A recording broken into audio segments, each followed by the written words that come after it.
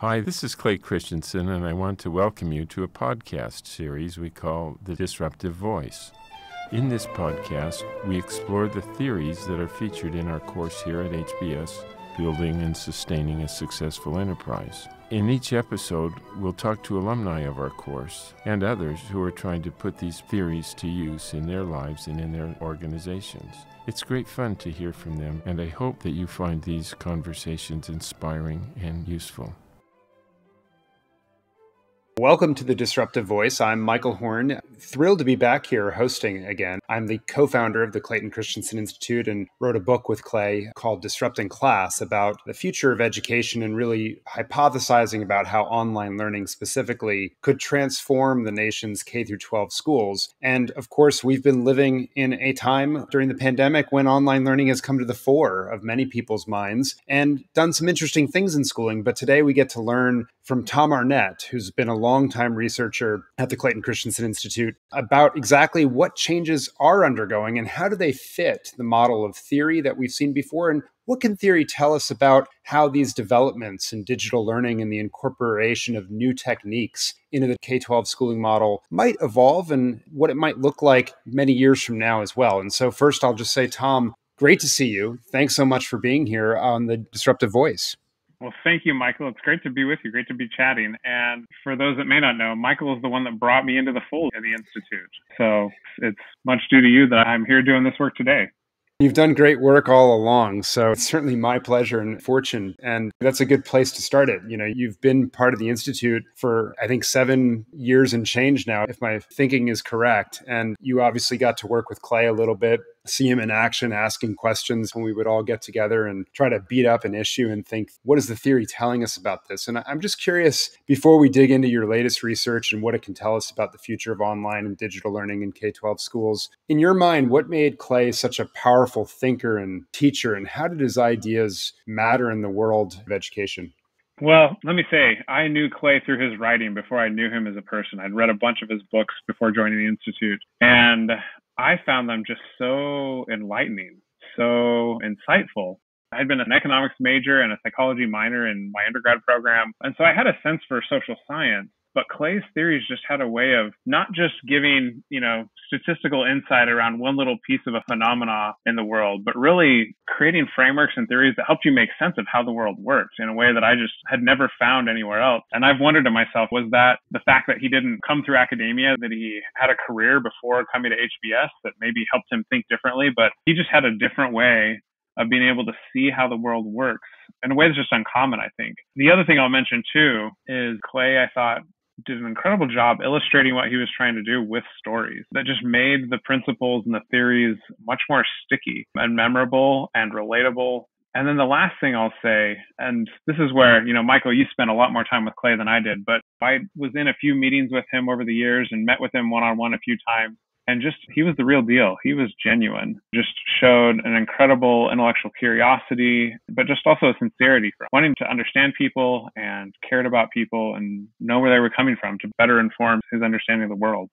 Yeah, there's no question about that. Who he came across as in public settings was entirely genuine. I totally agree. I'm curious as we start to dig into this topic. You did this huge survey and you've done three of them now, I think, of K 12 teachers and school leaders, district leaders around their use of not just technology, but new models of learning and new adaptations in the wake of the pandemic. And are they in person? Are they remote? Are they hybrid? Where do they see it going in the future? Their opinions on all this. So you've collected an enormous amount of data. And as Clay liked to always remind us, data is always backward looking and only uh-huh. convincingly so in, in, the very distant past. So knowing that we're still in the middle of the sausage making, if you will, right? That there's still mm. tremendous uncertainty. Before we dig into specifics, I'm just curious top line, right? You've done all this survey research.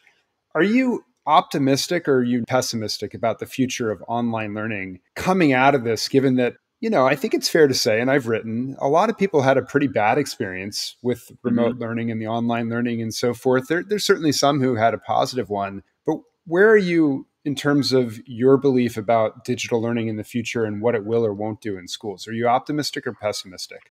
I guess I'd say I think I'm realistic. I oh, see oh, both. I see both some negatives and some positives coming out of what schools have been living through in the last year. on one hand, our survey data came through pretty strong that the dominant way in which most schools approached instruction last year was to try and broadcast conventional lessons online, which totally makes sense. And maybe we'll get into this a little bit later. It totally makes sense from like their RPPs, their business models, like why they would go that direction. But then in the free response part of the surveys, teachers were super, super frustrated. They said like, this just does not work. I can't make lessons that work both for kids in person and kids online at the same time. Or when I'm just teaching the kids online, like I've got cameras are turned off. I feel like I'm teaching into the void. Kids aren't showing up. They're not turning anything in. I can't hold them accountable. And I think so a lot of people had a really rough experience and are eager to get past that as soon as possible and get back to normal. Unfortunately, I think there is some throwing out the baby with the bathwater going on right now where states and districts are saying this just shows that kids can't learn well online. We got to get away from online learning. When in reality, I think it's not an indictment of online learning. It's really an indictment of the way they were approaching online learning last year because we've seen other examples of online learning working great. In fact, in our survey, there was kind of a total polar opposite expressions in those free responses from teachers where some hated it and others were like, actually, I got to know my students better and I found ways to better meet their individual needs. And it was because they were doing online instruction totally differently than that concurrent, you know, broadcast the conventional lesson approach. But I think the field right now isn't seeing that distinction. And so I think there's a fair amount of backlash and pushback against online learning right now on the whole. But at the same time, one of the positive trends we saw again in that survey data was that there's these pockets of teachers.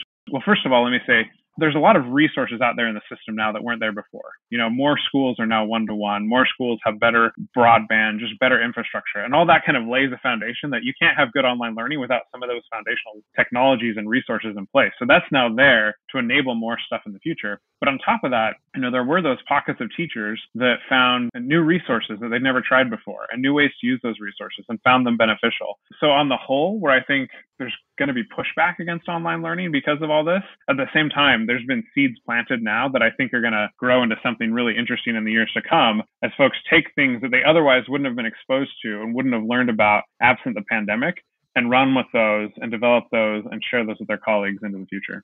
It's fascinating to hear you talk about that juxtaposed dichotomy, if you will, of reactions and on the ground reality. Before I get into my questions, starting to lay out the theory behind this, I'm just curious. We have the benefit of having looked at your survey results, and I have the benefit of having read everything you've written about this and so forth our audience obviously has not. So, are there any data points or findings that you think, gee, let me just make sure I ground everyone in what you found over the last three surveys, just so people have similar starting point before we dig into some of my theory questions about where this all might go? Yeah, let me give some of the top line statistics. First of all, the experience that schools and teachers had last year was really mixed. And one of the questions we asked was like, what's been your dominant approach to instruction last year? And it divided kind of evenly into thirds, where a third said we were mostly remote last year, a third said we were mostly in person, and a third said we were mostly hybrid, which is where some students are in person, others are remote, or they're in person or remote at different times. So one thing that I just want to lay out there is that shows it wasn't just this uniform experience across the country. It varied quite a bit across different school systems. The second thing, and I've touched on this a little bit, but 79% of teachers that were using that hybrid approach said the way they did hybrid instruction was this concurrent model, or what's often referred to as Zoom in Room, where they had some kids remote, some kids in person, and they're teaching both at the same time. They've got a screen in front of them and a half full class of kids in front of them, and they're trying to work with both. 79%. And again, in the comments, like we just saw that that did not work well for most teachers. They felt like they couldn't be effective. They felt like it was overwhelming, just made the job really hard. And teaching is already a demanding job. But then the positive highlights I'll call out. One is that when we asked teachers about blended learning models, and I guess maybe for background for those who may not be super familiar with our research, long before the pandemic, and Michael, you were the one that started this, the Institute's been studying the incorporation or integration of online learning into brick and mortar school settings. So it's got some overlap with this idea of hybrid, but it's not the same as hybrid. And blended learning that was happening before the pandemic was happening, I think, for very different reasons than the hybrid instruction we see now so Michael, you and Heather Staker had documented these different models of blended learning. And so we asked about those in the survey to ask teachers, you know, are you using any of these? And there's definitely not a majority of teachers that use these models yet, but a substantial minority, around 30, 35% of teachers that have, have used these at one point or another. And we saw some real gains in some of the models, in particular, the one called flipped classroom which is where teachers are taking their lectures and making those into video recordings that they can post online. Often they're using software that lets them embed questions and checks for understanding during the videos to make sure students are staying engaged with the videos the idea is then you offload that lecture based content instruction to a video. And then when they come to class, you focus on projects and problem solving and small group instruction and not having to do whole class instruction. And we saw on that front, that grew from 12% of teachers saying they were using it to 20% last spring. And then we asked them, you know, do you plan to use this in the future? And 18% said they plan to use it in the future. So it's small, but I think substantial growth for that model. And then what we see is something that's probably in correspondence with that. We asked about a bunch of different online tools like systems for managing online instruction, video software like Zoom, and some of the tools that gained the most traction or the, the biggest jump from like who was using it before the pandemic to who plans to use it afterwards hmm. were the tools you use for teachers to make their own online lessons and record their own online videos. And in the free response of the survey, we had teachers commenting saying, this has solved that problem I've always had of class attendance where the kid misses class. How do I catch them up? Right. Well, now they're saying it's easy now. I know how to make these online videos to share my material. I can just point kids to those videos. And it's now easier that when kids need to review, I can just point them to the videos and say, go back and review or point them to those online resources. So those, I think, are some of the biggest winners in terms of technologies out of this. And I'm really curious to see how that evolves over time. As teachers learn those tools, do they start to figure out how to do more flipped classroom approach? Do they start to figure out how to do mastery-based learning where kids are progressing not based on, hey, it's the week for unit two, but based on, hey, you're mastering content and you move forward as you show that you understand the material we're covering the last thing I'll highlight is we surveyed both teachers and school and district administrators. And on the administrator side, one of the questions was about new programs that they've launched during the pandemic. And we saw a huge jump in the number of school systems that are offering virtual schools. So 11% of those administrators we surveyed said their school system had a virtual school before the pandemic. 41% said they were now offering one last spring. And then when we asked them, do you plan to keep this beyond COVID? 32% said yes.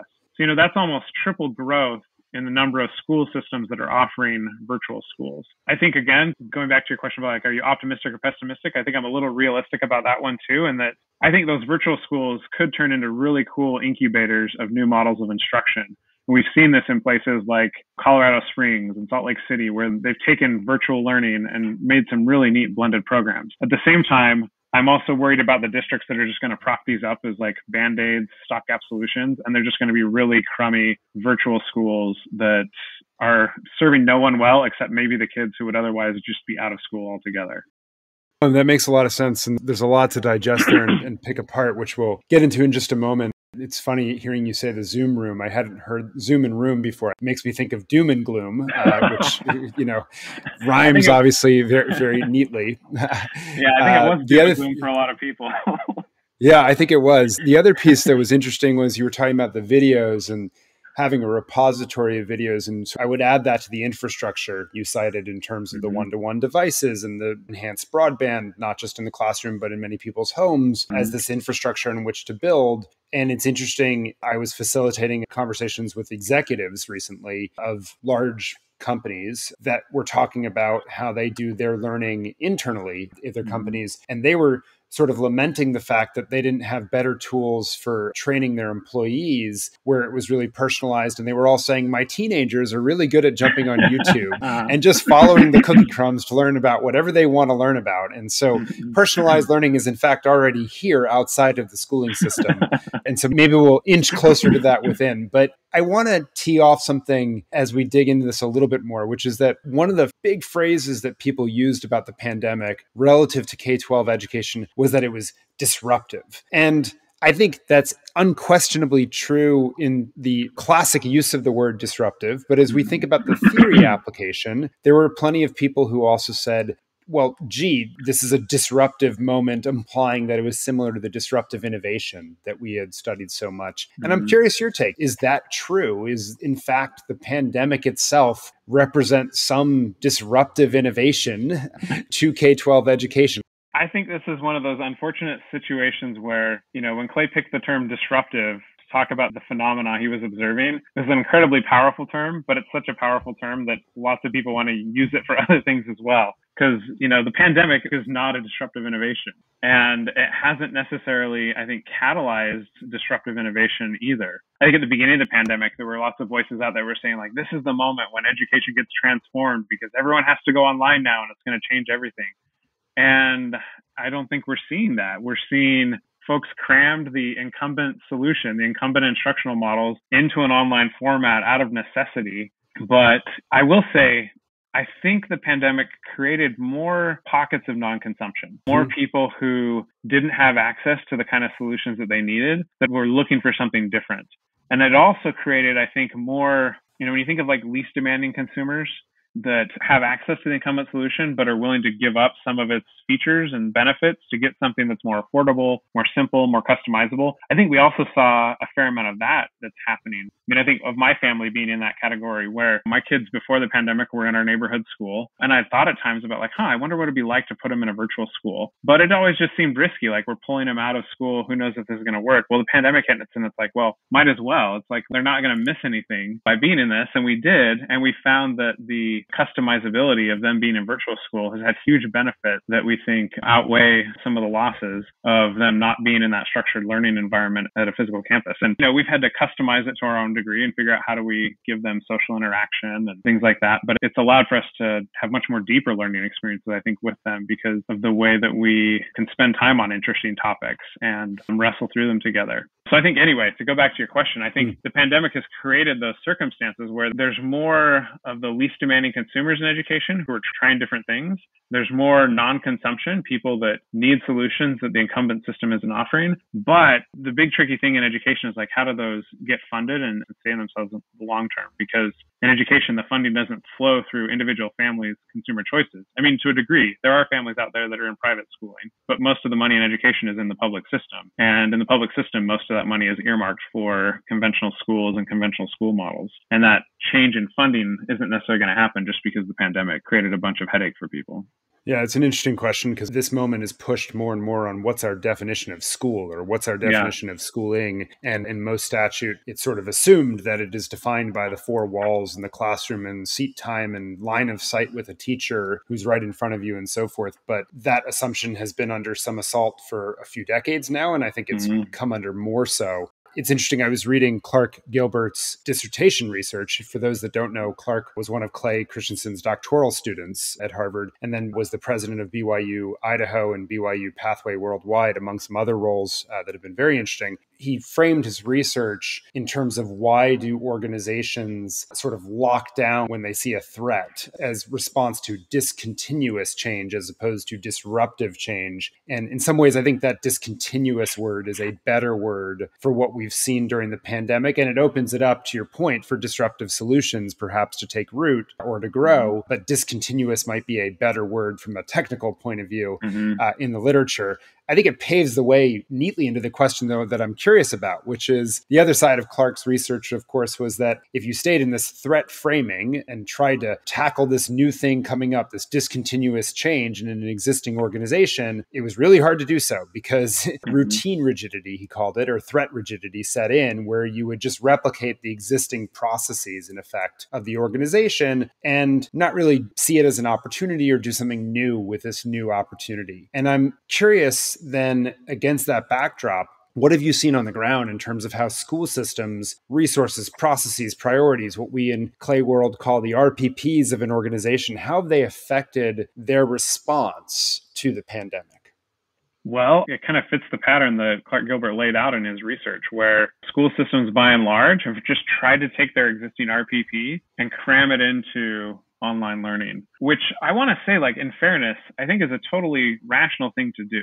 You know, you think back to last spring, the pandemic has really sprung on them. Like, no one was anticipating having to close their buildings suddenly within a matter of weeks. I mean, for a lot of them, I think it was like they heard about it within two weeks, their buildings were closed. And then through summer 2020, there was some hope that maybe we'll be able to go back in person. And so there was a lot of uncertainty. And then when the fall came around, schools were like, nope, we're back into remote learning in the beginning and they just didn't have a lot of time to really prepare and really set up. And so in that kind of a circumstance, it doesn't make rational sense to just throw out everything you've done in the past, throw out all the solutions you've used before, and try and invent something new from whole cloth. And so, like, I think very rationally what they did was they said, let's try and preserve our existing structures as much as we can. You know, let's not mess with the master schedule. Let's still schedule students' days online the way that they would look during a regular school day. At the state level, there were also requirements around instructional minutes that were somewhat relaxed, but then I think got pushed back onto schools more and more. Know, that's how we count education historically is not what did you learn, but how many minutes of instruction did you get. So they stuck with we've got to cover our minutes. We're going to keep our schedules. We're going to still assign students to classes where it's roughly 25 students with one teacher. We're not going to do new staffing models. And it was just, I think, purely a, a sense of like from where they were standing, it seemed like the most likely path to success is to try and keep everything that they've come to rely on in the past as much as possible. But as a result, we ended up with this concurrent or Zoom in room approach to instruction that didn't work well for a lot of teachers, didn't work well for a lot of students because instead of rethinking, how can we use time differently? How can we leverage synchronous and asynchronous instruction to benefit students? They weren't thinking in those terms. They were just thinking of how do we keep the train moving as best we can in this new train that we're in now? And it kept the old system intact more or less. Yeah. So I'm curious then, you've already alluded to the fact that that response plus the opening up of not just non consumption, but also making it less risky for those who are overserved by traditional mm-hmm. schools, the least demanding families, to move toward these disruptive models of K 12 education. Things like virtual schools for your family or mm-hmm. micro schools, learning pods, things of that mm-hmm. nature. I'm curious that as we go back into some sort of I don't want to say normal, I don't know what the right word is, but some sort of balance over the months and certainly the next year or two, it would seem. How do you think the pandemic is going to ultimately affect those disruptive models of K 12 education? Will the folks that have moved to them and unquestionably seen their growth, do you think they're going to slide back into the traditional system, those traditional RPPs? Or do you think they'll mm-hmm. say the taste of what we've gotten is mm-hmm. so valuable that we are unwilling to make the trade off to give it up? I think it's going to vary from family to family. Not to not to mix theories too much, but I think some of it depends on the job to be done of the family, right? Like if a family went to a micro school or a pod or a virtual school, I mean, virtual schools don't fit this, but like micro schools and pods, which were smaller cohorts of students coming together, doing online learning, but in a physical space together. You know, the families that went to that, if that was mainly solving for them the challenge of I need a place for my kids to go during the day while I work, I think that those families are probably pretty likely to go back to the conventional system because running your own pod or paying for a private micro school is more expensive than sending your kid back to the school system that if you otherwise thought it was fine, it was just you were missing that custodial care for your kids during the day. I see those families going back. At the same time, We've seen stories of families that were thriving in these environments because I'll play out a couple different types of scenarios. For some, it was like students with special learning needs that got served a lot better in their comfortable home environment, getting more individualized instruction than when they were in a school. Or students who were bullied or among black families, there's been stories I've read of families that were like, you know, the system didn't work for our kids. And when school went online, we saw that system up close and personal because it was being broadcast into our home. And we saw that our kids were doing a lot better and a lot happier being a bit removed from that system. So I think if that's what's driving families, I think those will be more likely to look for other solutions in things like pods and micro schools and virtual schooling. Let me jump in there just for a second. Do you think districts might pioneer some of these micro schools or virtual schools? Like you've already said that, you know, 41% have virtual schools right now, 32% say they will continue that, which mm-hmm. in and of itself is fascinating. We know a lot of districts stood up micro schools or learning pods last year in collaboration with other community organizations. Mm-hmm. We also know a lot of those are going away this year because they want them in person. Mm-hmm. But if this environment persists where families are saying, I would like another option, right? And that's durable. Do you think districts might come out of their RPPs and set up those independent organizations to stand up some solutions that bring them back in the fold. And that'll create a more sustainable movement behind some of these disruptive innovations. I really think it's going to vary from district to district, and a lot of it just depends on the vision and the leadership of the people running the district and running those programs there are school systems that see this as an opportunity. And I think there is a real opportunity. You take the idea of like the type of flexibility and individualized pacing and customized instructional pathways that kids can be on in a virtual school. You pair that with something like a learning hub, which some districts offered. To cite again some quick survey data, learning hubs, when we asked the administrators about that, 11% said they were offering learning hubs last spring, and 5% said they plan to keep offering them. So, an idea like learning hubs paired with virtual schools to create something like a micro school, there's places where I think they have the vision and they're trying to figure out how do we do this differently.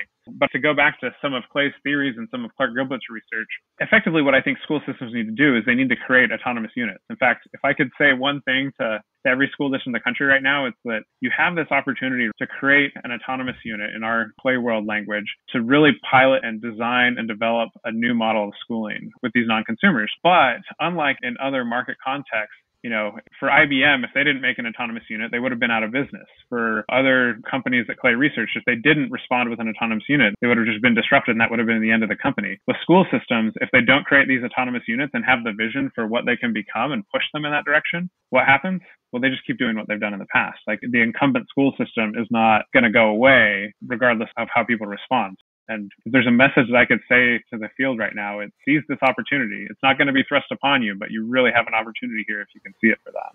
That makes a ton of sense. I, I want to, as we wrap up our time together, I want to dig on another side of this equation, which is teachers and how the pandemic has affected teachers' jobs to be done, if you will. You've done some extensive research into why teachers adopt new learning models, research that occurred in pre-pandemic times. And i'm curious what have you found in that research and how has the pandemic affected or impacted how teachers perception of their jobs to be done is based on all that data that you've collected? Yeah. So to give a little background first on that research this was i think 2018 when we did that study and we were interviewing teachers to find out what is your job to be done that leads you to adopt something like blended learning or something like project-based learning? Michael i remember we sat together for a bunch of those interviews with Bob Moesta in detroit and the most common job was that teachers were saying, help me to engage and challenge my students in a way that's manageable, which in other words means I've figured out how to teach. I've been doing it for a while. I don't want to throw everything out that I've done in the past, but if you can give me tools that are easy for me to pick up and learn that help me just make my lessons a little bit better to help me bring in that kid who struggles to pay attention or help me take this concept that no one seems to really get the first time I go over it. Help me help my class pick it up more quickly. If you can give me easy to adopt tools that help me do that, they were interested. But they weren't interested in rethinking everything about the way they did teaching. Now, in contrast to that, there was a smaller subset of teachers we interviewed that were in that space of help me rethink conventional instruction. I need a whole new model. But to me, what really stands out is the distinguishing circumstance that put teachers in that job to be done was that they had had experiences that led them to conclude on their own that conventional instruction was broken. Like I remember one high school algebra teacher we interviewed who said he was ready to become a truck driver. Like he was not that far from retirement, but he said, I think his words were soulless. Like teaching math felt soulless because kids were just coming in to his class, learning to memorize what he wrote on the board, regurgitate it on a test, and then forget about it. And he's like, math is so much more interesting than this, but this is how we teach math, and it just there's no passion in any of it. And so he was at this point where he's like, I'm either going to quit teaching or I've got to rethink how I do stuff. And that's what motivated him to, you know, rethink his instruction and go to a very blended competency based model. So I think right now we're in this circumstance where more and more teachers are frustrated. They've found that just relying on conventional instruction has not worked well this last year. The question though is how do they respond to that frustration? I think there's some that are just buckling down and saying like, hopefully the pandemic's over. I've heard someone say that, you know, last year for teachers, it was a lot of anxiety, and this year feels a lot more like depression, that they're just feeling the sense of hmm. learned helplessness of like, this thing just keeps carrying on, and I don't know how to get out of it. And as teachers get to that point, some of them are contemplating do I retire early? Do I go find another profession? Can I hang in there for one more year? But at the same time, I think there's some teachers that are responding to that frustration and moving into that job of like, I've got to rethink instruction because the way I teach in my classroom or I've taught in the classroom that may have worked there just isn't working for remote or hybrid instruction. I want to say, like, it's not every teacher that's responding that way, but I think there's more teachers feeling that frustration and moving into that job to be done because of it. And that, that makes me optimistic. There's a nonprofit I've become a big fan of called Modern Classrooms Project, which was basically two teachers in DC that were struggling with that challenge of attendance and figured out how do we catch up our kids that are behind. This is before the pandemic. And they've turned their classroom into blended, mastery based, self directed learning. And they said, We've got this working really well. They first shared it with a bunch of other teachers in their building, then created a nonprofit where they're sharing it with teachers all over the country. And what I find inspiring is it's like a solution built by teachers for teachers that has this very specific model. If you're in that job of help me reinvent my instruction, they have a blueprint for you to follow to help you do that. And they've seen huge growth in the last year. And so again, I don't think it's hmm. every teacher that's in that job, but I think more and more teachers are finding themselves in that job and looking for new instructional models. And that's encouraging to me. Well, I think you've certainly painted a realistic portrait of where we are, as you said you would. But if I could summarize, I think, and this is sort of the test of, of how well you've taught me today, right? And so I'll do my best here, and then you can fill in a couple blanks as we wrap up our time together. But it sounds like because of schools' RPPs, they took a lot of the online digital learning and just sort of crammed it into the existing model. Not a lot of innovation, really just replication of their resources, processes, priorities, not a lot of imagination. And so, for a large percentage of that, it's going to go back to the way it was. But for some schools where there were bigger pockets of non consumption, least demanding consumers gravitating toward these new models, and some leaders that created some autonomous models, and some teachers who have been moved into this help me replace a broken instructional model, there's some wind at their backs, if you will. And so while that's not going to be a tidal wave that sweeps away the entire existing system, at the margins, and many of the margins, if you will, we're going to see some changes and some quite transformational ones that, you know, 10, 20 years could develop into something much greater than what they look like today. How did I do? You encapsulated everything I said into a soundbite. That was awesome. Tom, any closing thoughts before we uh, wrap up? You know, I'd say the pandemic has been a really challenging time. And part of me has been trying to be careful of being sympathetic to how hard this is for teachers right now. I think they got a lot of praise way back in the spring of 2020 when families saw how hard it was to do schooling at home. But a lot of that positivity has evaporated and they've just been left with their own frustrations trying to navigate really tricky circumstances and frustrations from other people that are not happy with the situation either and sometimes pin the blame on teachers and educators. So this has been a really tricky time. But I hope that in spite of all of it, and in spite of just the broader global challenges that COVID has created for the whole world, but I think there's good things that are going to come out of this. And that, I guess, to maybe contradict what I said earlier, I'm optimistic about that, that there will be good that comes out of all this. Well, we'll take that note of optimism. And for those listening, Tom will be doing a fourth round of survey research shortly about where teachers and school systems are at this point in the pandemic. And so, Tom, once that research is out and you've distilled some of the conclusions, I hope you'll rejoin us on the podcast and share what you've learned because I suspect a lot of listeners will be quite interested to know how their school system is likely to continue to develop and what theory can tell us about the future. But for those that can't wait, they just want to stay on top of all that you're learning and writing about and researching and so forth, where can they learn more to stay on top of the latest and greatest of what you're finding during this period?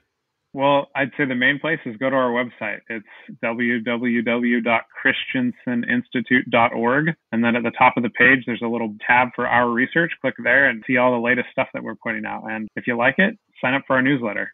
Yeah, the newsletter is a great way to stay on top of all things that are being learned and documented and so forth. It's where I get a lot of my information. So I highly recommend folks check out that resource. And for everyone listening, thank you so much for joining us. Tom, thanks so much for hanging out with us on The Disruptive Voice, and we'll look forward to more to come. Thanks, Michael. It's been a pleasure. Thank you for listening to us at Disruptive Voice. Until next time, good luck, everybody.